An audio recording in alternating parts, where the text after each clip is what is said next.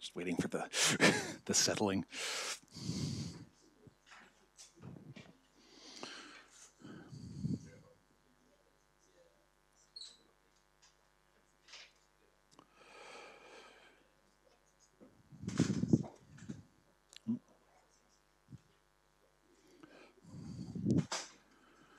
Good morning. Can everybody hear me? Everybody can hear me. Good. So I'm not going to solve your JavaScript problems. Um, unless you have this one specific problem which I find uh, afflicts agencies. So um, what I'm talking about here is sort of the application of the keep it simple, stupid uh, principle, where stupid sort of applies to me. Um, oh. Haha, I know my keyboard shortcuts don't work. I'm at the end. One moment.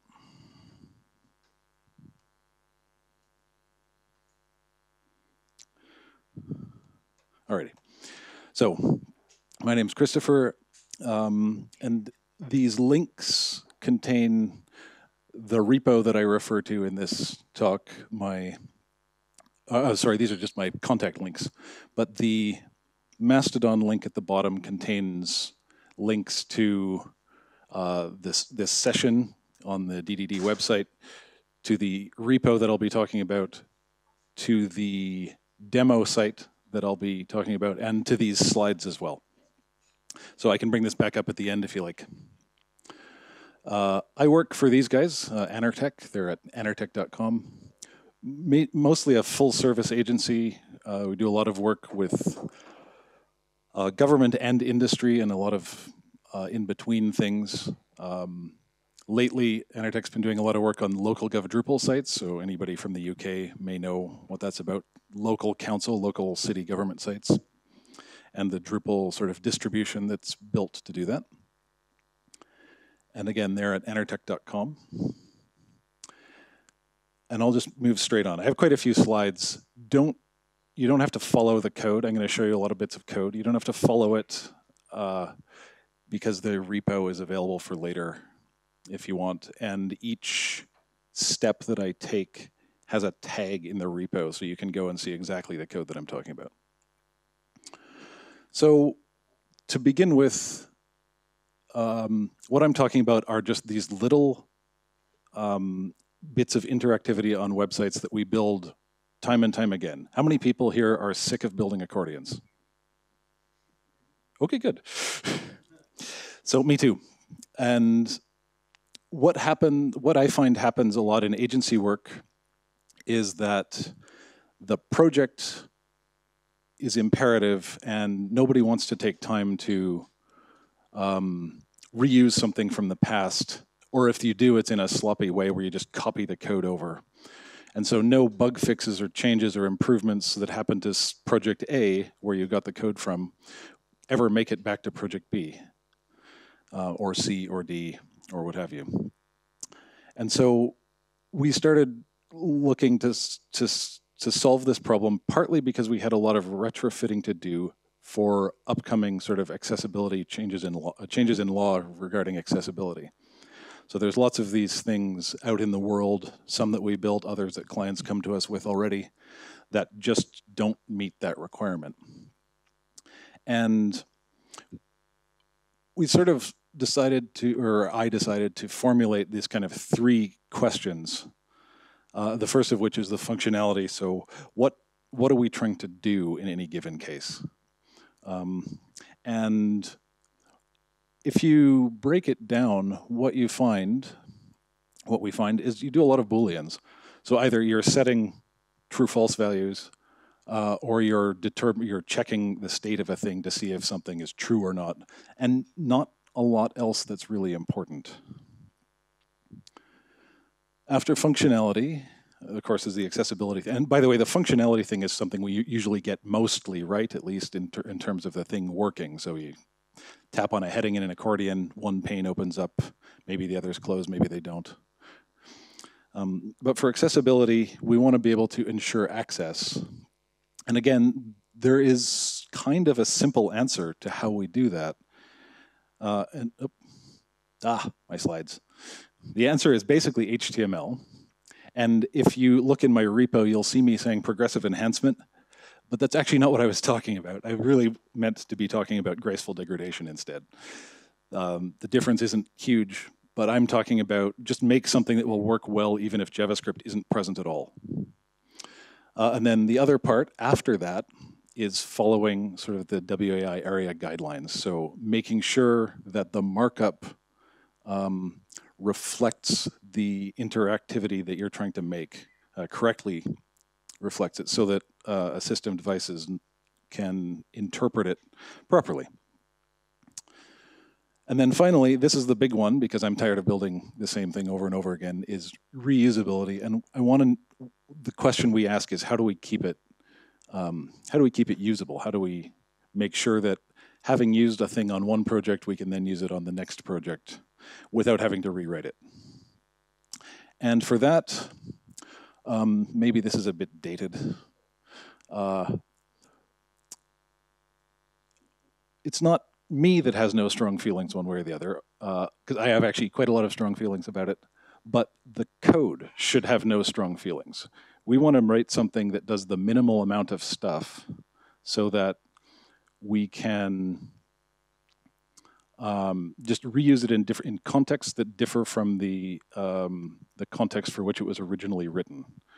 Um, and to do that, you have to sort of anticipate kind of just how how it might be required to use in in, in other places. And so to take you through bits of code for this, I'm going to use the the simplest possible form of these interactives, which is a disclosure, which is just a thing that opens and, a, and, and then closes again. So it's really the light switch of JavaScript, right? Just that.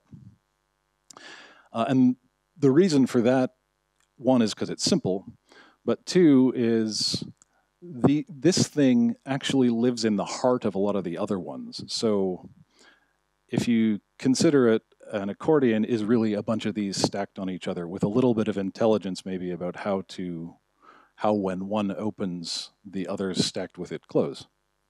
Um, likewise, uh, a set of tabs isn't that different. Um, the markup would differ, but the JavaScript actually could be very, very similar. So again, wrong label. Uh, when I say this, just mean graceful degradation. Graceful degradation is what I mean. So we start with a thing like this to get that disclosure. It's just a paragraph. And then with the application of JavaScript again, we can make that. And so to gracefully uh, degrade, what we would want to do is make sure that it just works as in the first case where no JavaScript is present. And that's what's happening in this slide. The first one doesn't have the JavaScript applied to it and the second one does. And we get there by having the right markup. And again, the right markup is a paragraph. It's nothing else to it. But of course, you have to actuate the paragraph to uh, open and close that thing. So maybe what we'll do is this. And we can do this either straight out of a template, like a Twig template, or whatever else. Uh, or we could write it in with JavaScript if we felt like it. Uh, and what's important up there is that hidden attribute, which will make sure that this thing isn't even displayed. It's essentially display none in, in the markup. And it's useful because it works, uh, provided you haven't messed with it, it works out of the box without any CSS applied to it. And so that means that the button itself, but even more importantly, the ARIA attributes aren't in the sort of accessibility tree. So nobody's getting weird, strange messages about, about the fact that there's a push button on the page that can be actuated when it's not even displayed. Um, and again, if, if your JavaScript fails or is disabled or another script on the page breaks it or something, this helps a little bit to keep you from presenting something that's just sort of fundamentally broken. Um, this this is just where I start where where I've started to build these is just to use a class file. That's absolutely unimportant. Um, you can use a factory, you can use anything else that'll get you JavaScript that has functions. Again, uh, about the JavaScript itself, we're unopinionated in terms of how you like to build it. It's just what it does that's, that, that matters. Uh, so I'm just going to start us like this, where we just we create something that exists. It doesn't do anything else and something like this, which calls it. Um, my demo isn't in Drupal, so this isn't a Drupal behavior, but this is precisely the same as what would be inside a Drupal behavior if you're writing it. You query, you're probably using once in Drupal, to get the thing that you're looking for, which in this case is literally the button, because the button is what's crucial to this kind of thing. It, it, uh, we don't really care that much uh, at the beginning if there is something to open and close, because um, we can check for that elsewhere. And then once we have queried for the for the trigger for the button, we check to see if we got any, and if we don't, we just leave. But if we did, then we instantiate the class that we had. So the the thing that um, turned around our thinking, I think, um, with these kind of things is the idea that we should, in essentially every case, anything we want to be reusable should have an API of some kind so that it can be acted on from the outside. And for a thing like a disclosure, you might think, well, why, why? Like, why? It's a good question. And the reason is um, one, because you don't know all the contexts. Again, this is this is our goal: is to try and anticipate how the thing we make could be useful, um, even in contexts again that we we can't that we haven't anticipated yet. And there's one in particular uh, which relates back to the ARIA stuff in the markup uh, and that's making the actual JavaScript responsive. So in these kind of tools, again, they have these ARIA attributes, but if they're present in the markup, present or at least accessible via the accessibility tree, in the markup, when the thing isn't working, then you have a broken experience for somebody, probably for a lot of somebodies. Um, and so when there are things that we want to happen only, say, at a certain screen size, for example, um, the kind of menu kind of overlay that occupies occupies the entire screen of a mobile device and traps focus inside it so that you can't leave by accident. Um, that thing, maybe you're using the same markup on the mobile device and on desktops, but it doesn't happen, none of that happens on desktop because the menu is just always visible. In that case, we should be turning off all the JavaScript stuff that we did for mobile devices on um, uh, on desktop devices. And it's not necessarily enough just to hide the differences with CSS because you may still have these these sort of ARIA attributes and stuff in the markup um, and being sort of accessible in the tree and sending, you know, confusing messages. So again, for our disclosure, this is the first one there. I'm just going to uh, just first outline what kind of an API we might want to have, like what kind of functions other scripts should be able to call, and then we'll fill them in a little bit as we go. So we want to enable it.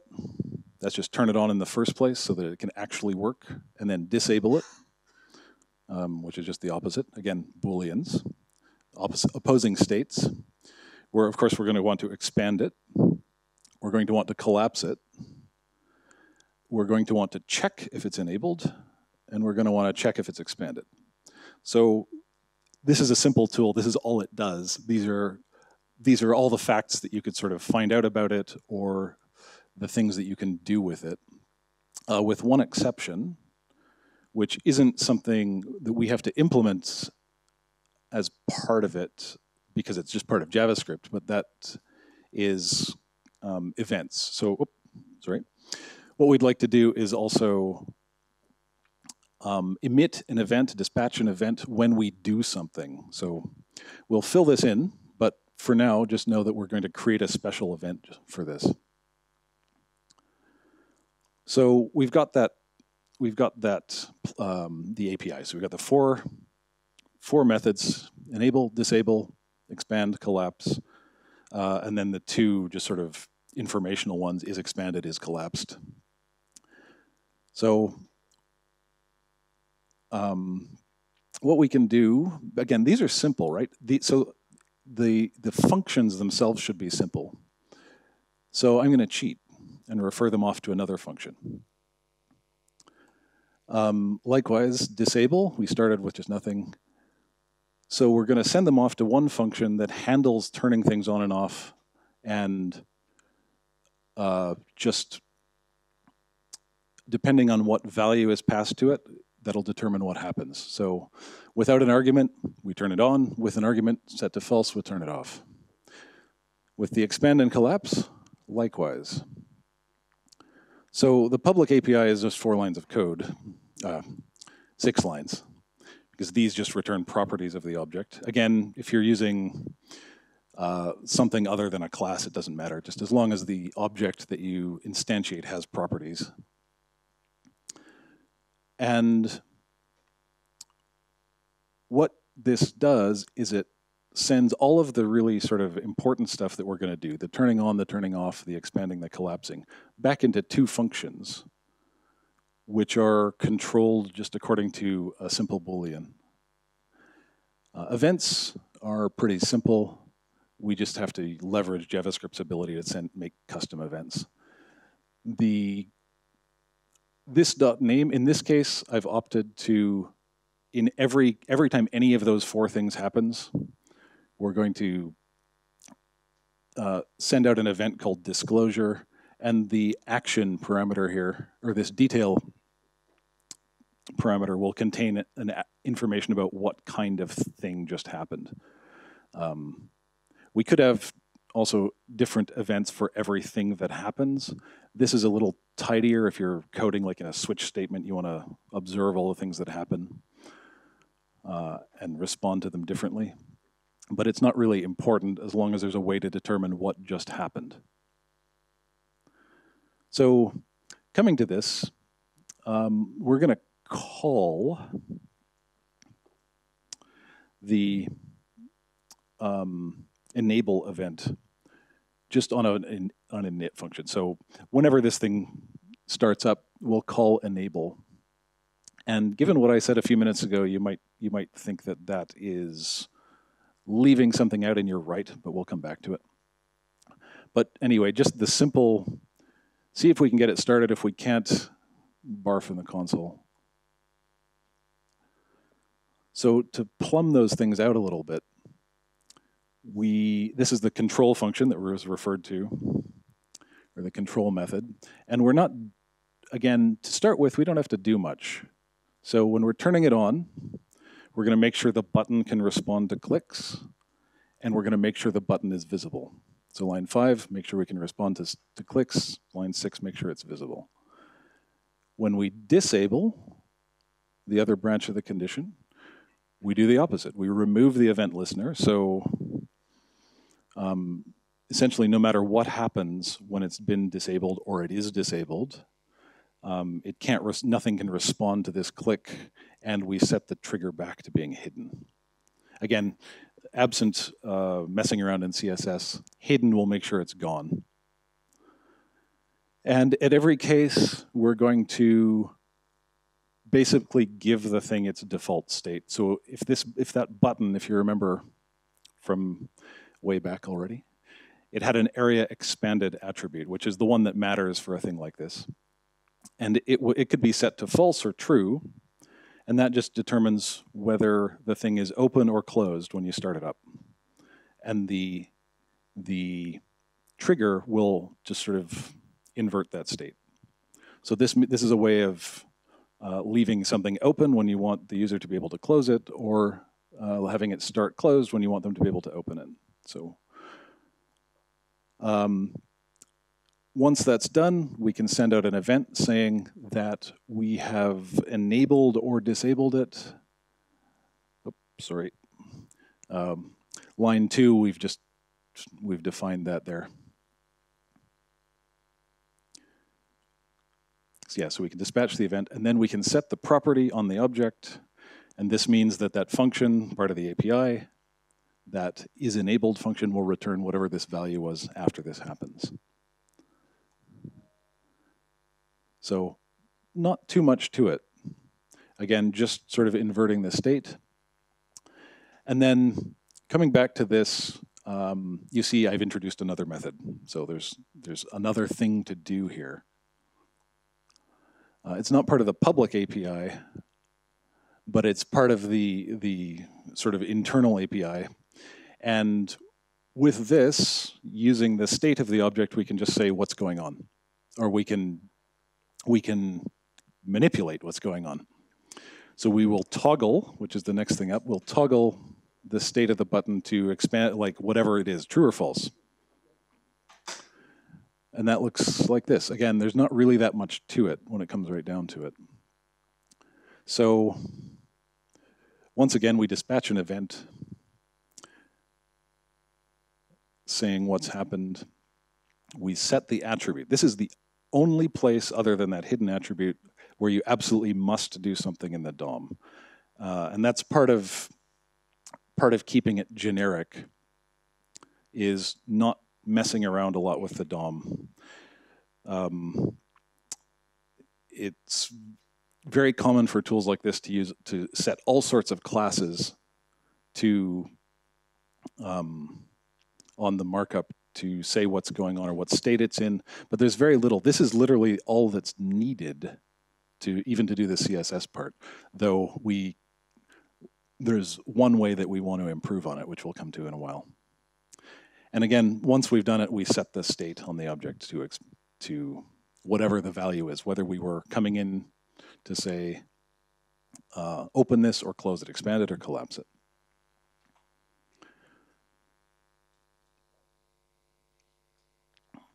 So already,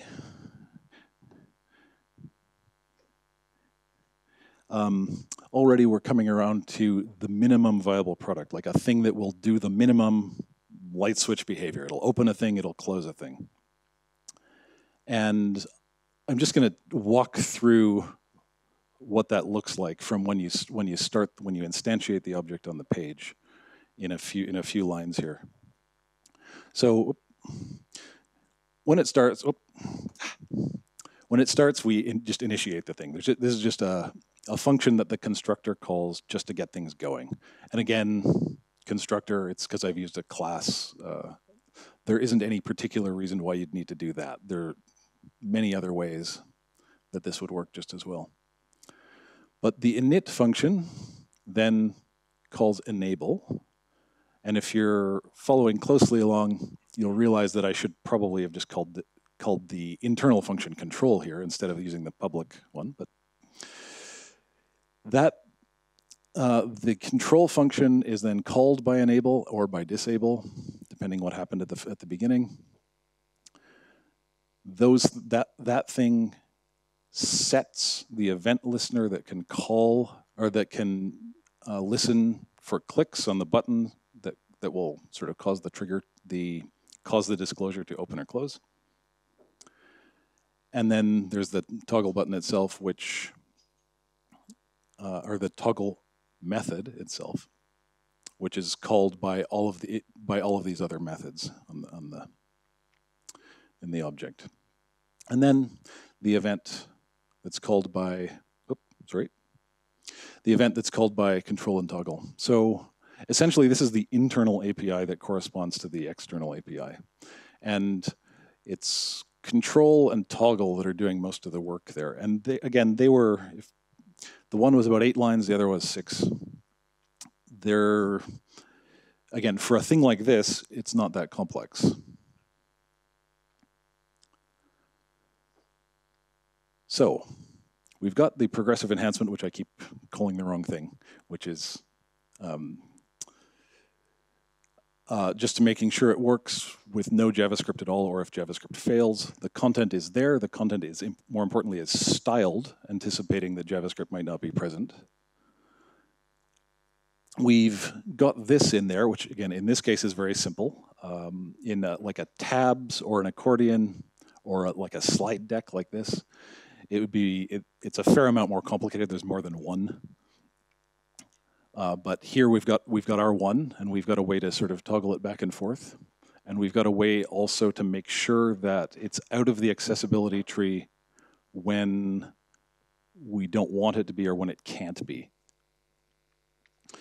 We've got our enable and disable.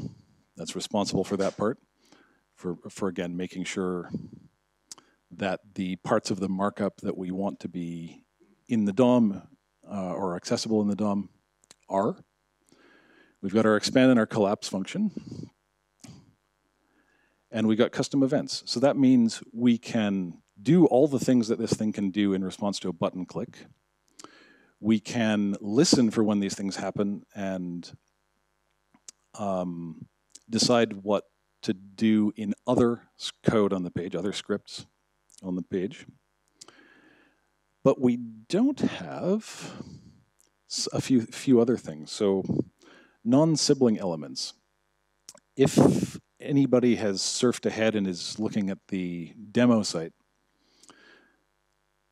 the way this is working is it's finding the next sibling after the button and it's expanding and collapsing that. It doesn't care what it is, it'll just sort of, um,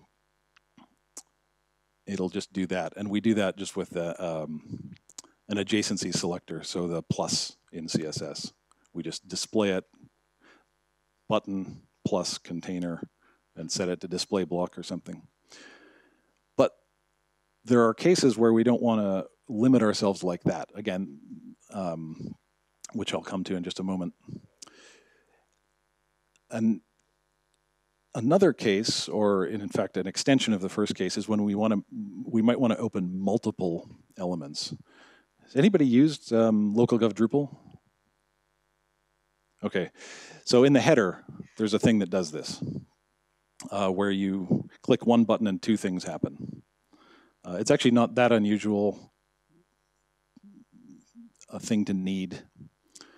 Um, but the way I've built this so far, that won't work.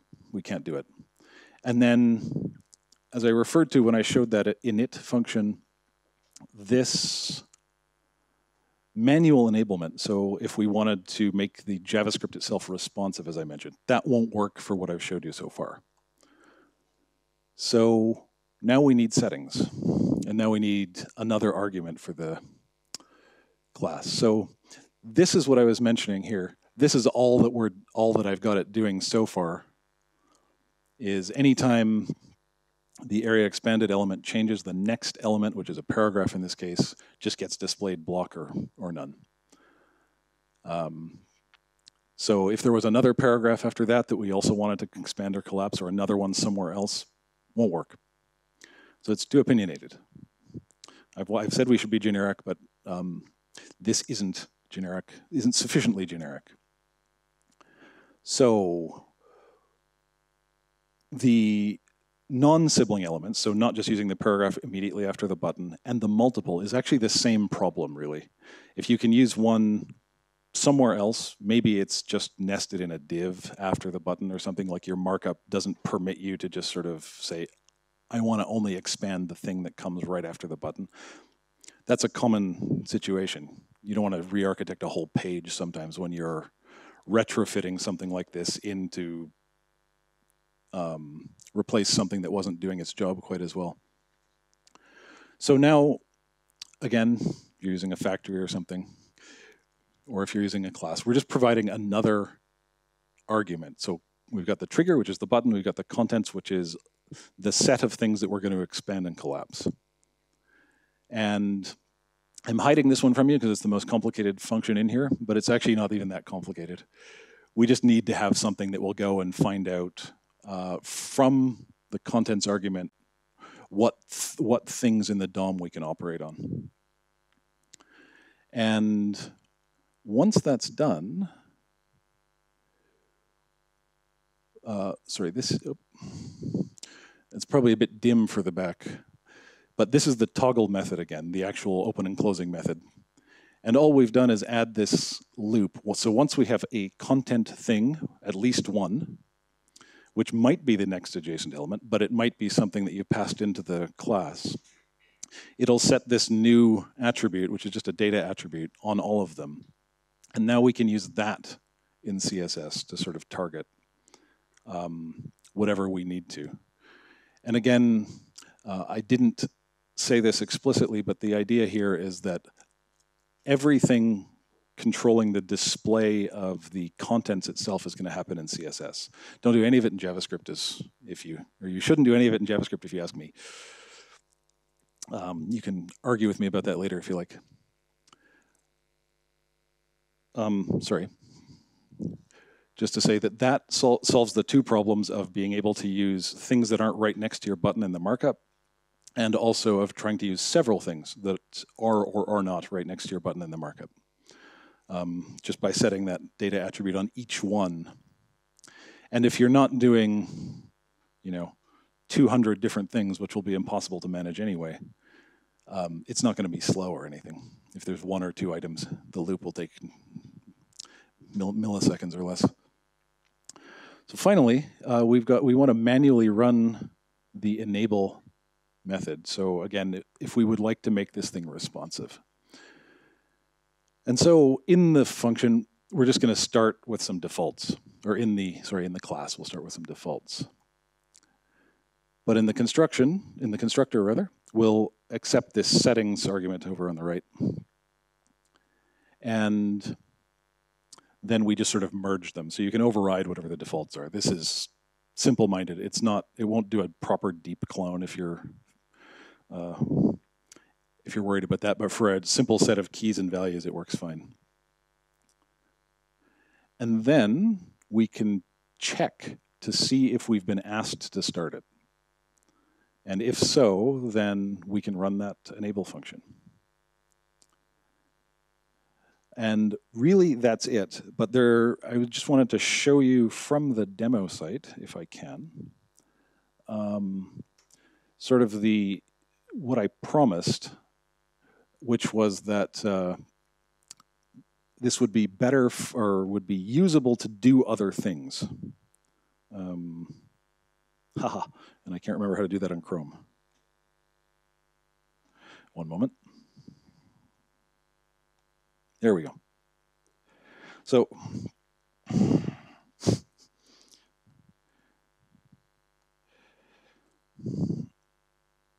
you all aren't afraid of the ins inspector, I don't suppose.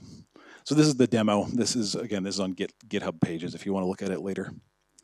Um, but we have the basic disclosure here. And these, all these are just, um, the, again, they're running on the, the sort of demo code. But with a relatively little, so hang on, I'll back up one step. How many people have written a thing like a, a, mobile nav that sort of covers the whole screen, traps focus inside it so you can't get out of it, and found it a terrible pain. Yeah, okay. It's more than one. So this thing does a fairly, if I could click it, yeah, good, thank you. This does a fairly good job of that, and that's using the same disclosure, just wrapped in some other code. Um, but it's wrapped in the code that makes it responsive. So on, if you either start out on desktop uh, or you move from mobile to desktop size, um, it'll either not be present in the first place or it'll remove itself um, uh, if you move over to a desktop size. And we've also found that just the basic disclosure works really great for making a mega menu. Like, so if you just have like sort of a row of buttons, oop, my timer too. If you just have a row of buttons, each of which launches a big hunk of content or displays a big hunk of content, uh, it works well for that too. Uh, so you can actually really use, um, and sorry, and the reason it works well like that is because you can you can write just a, a relatively small little wrapper that sort of supervises a bunch of these little things um, and lets you just sort of use them all as one. Uh, same is true with accordions, actually. I'm not saying you should do that in every case or even in many cases, but it actually is a thing you can do. It actually winds just by having the ways of interacting with it from outside. It actually winds up being quite um, quite uh, flexible. And that's about all I've got. I'll bring us back to the links pages.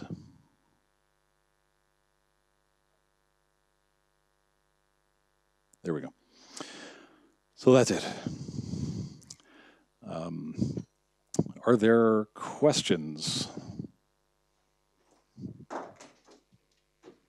Oh, there are AV questions. Thank you. Um, you you said that you can use this through other projects, Mhm. But I don't think you touched that point. How would you reuse it in another projects? How would you have this code used by many projects? Oh, so what we do internally is we we set the everybody heard the question because it's on the mic, right? Yeah. What we do internally is we set up an uh, an npm package registry on our private GitLab, and because this is no dependency, what we have been evolving towards, I don't know if this is our permanent solution, but is to use the um, post install hook in npm to just sort of copy it into the project.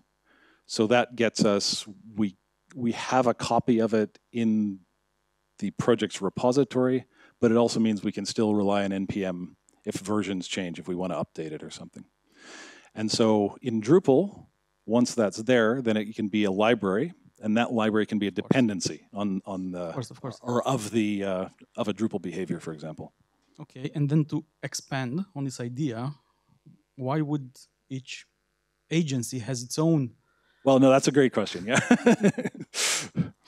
we just uh, for us, we haven't had any uh, really thoughts about um, making it public until we, at least until we figured out that we're doing it right.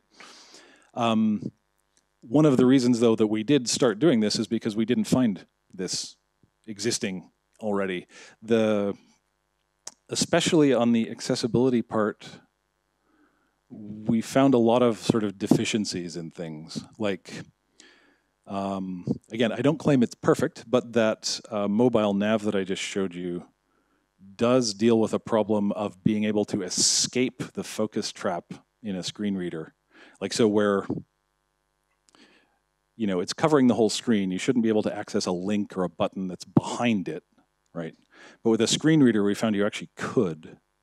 And there's some question about whether on a screen reader that's okay, but we found a way that we could work around it. And we found that other solutions claiming to solve that problem didn't.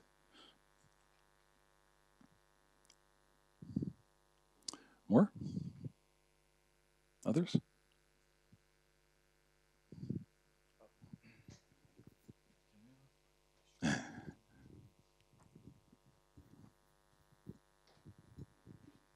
Uh, thank you. Uh, for the when you were setting the attribute to hide the content, the actual contents, uh, is there a specific reason why you opted for uh, setting a custom data attribute instead of uh, making it uh, uh, ARIA hidden, for example, or using a CSS class since you only use it to add CSS? Is there a reason behind that? No, no no special reason. Uh, mainly, I, we used a data attribute just to indicate that it was simply something functional. Um, so it it leaves um, kind of the idea is kind of that it won't touch anything that's already there. So there's if there's already a bunch of classes on a thing, we don't need to add more necessarily. And it's useful enough in combination with other selectors. Um, or on or on its own. But yeah, no special reason. Any others?